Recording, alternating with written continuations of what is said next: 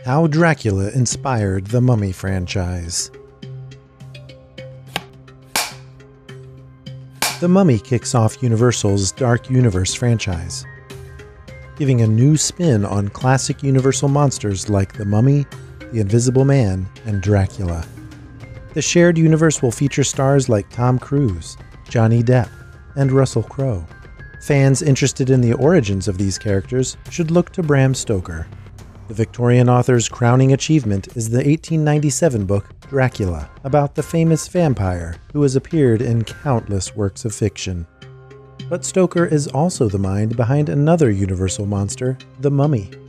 In 1903, Stoker published The Jewel of Seven Stars, his eighth novel. The book, released in a time when England was fascinated with Egyptian culture, tells the story of an ancient Egyptian queen reincarnated in the body of a professor's daughter.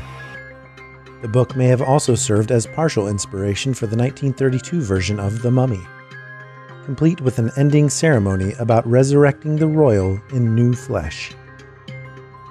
It's been adapted several times through the decades, and the Dark Universe franchise brings it closer to Stoker than ever before.